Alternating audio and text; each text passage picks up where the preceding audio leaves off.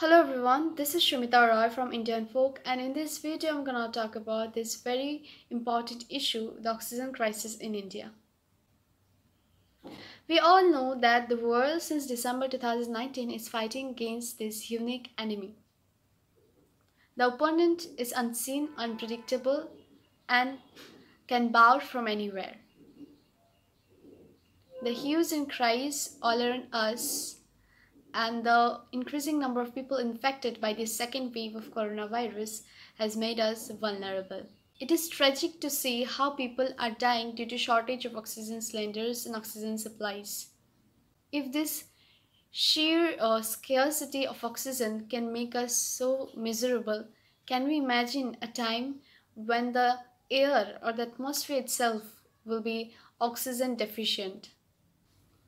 In a recent study named as The Future Lifespan of the Earth's Oxygenated Atmosphere, it is revealed that 1 billion years from now, the Earth's atmosphere will have a very little amount of oxygen. It is predicted that the sun's temperature will rise and because of which the absorption of the heat capacity by the CO2 gas will increase and which will result in the breakdown of the gas itself. And this will eventually affect the photogen uh, photosynthetic plants. And as a result, the oxygen level in the atmosphere will get affected.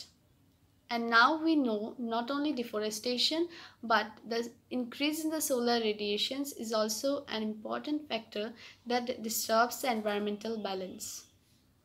Adding to this, the emerging pollution in the ocean water is also an important uh, reason for such ecological imbalance. We must know that about 50 to 80% of the oxygen comes from oceanic planktons.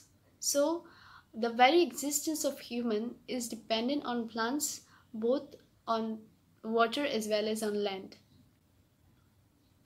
Due to uh, increase in the population and all the increase in the exploitation, it is predicted that there will be shortage of water, there will be shortage of food and now the distress of lack of oxygen is also added in the list. We cannot shed all the responsibilities over government to do all the tasks to save our planet. We as the responsible consumer of the earth's valuable resources, we must take steps to save our planet.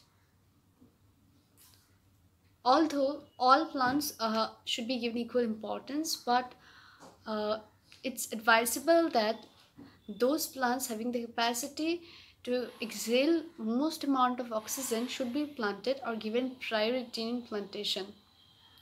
We in India are blessed with peepal tree. It exhales oxygen gas throughout day and night. Apart from this, banyan tree, neem, arjuna, saptaparni, jamun, kadi, all these plants are known to be very good air purifiers and can act as boon if we plant them. Since a huge amount of oxygen on earth comes from oceans, so we must take vital steps to make sure that the pollutants level in ocean stays minimal.